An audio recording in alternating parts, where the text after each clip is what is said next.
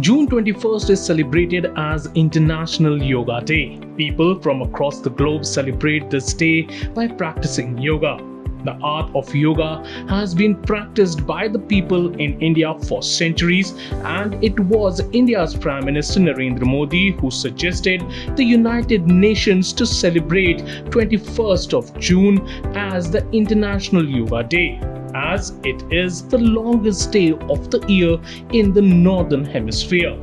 This year, the International Yoga Day will be even more significant as Prime Minister Narendra Modi will be in the US on the occasion and will take part in the celebrations at the United Nations.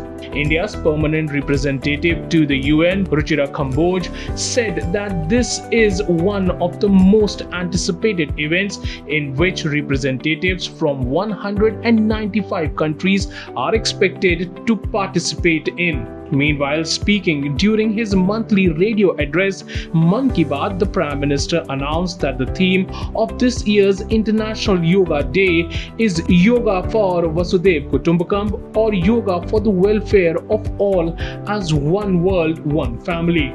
Prime Minister Modi on his YouTube channel also shared a few asanas for people to practice.